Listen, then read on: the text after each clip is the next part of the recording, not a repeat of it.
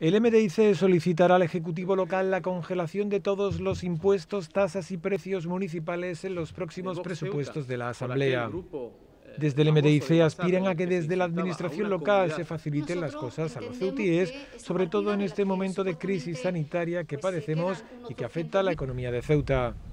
Igualmente, el MDIC va a volver a proponer que las bonificaciones de todos los impuestos se hagan en función de la renta y no del lugar de residencia, tal y como reconocen los distintos estudios realizados por los técnicos, según afirma este partido. Esta modificación no afectaría a la recaudación total y conduciría a un sistema fiscal más justo, como afirma este partido.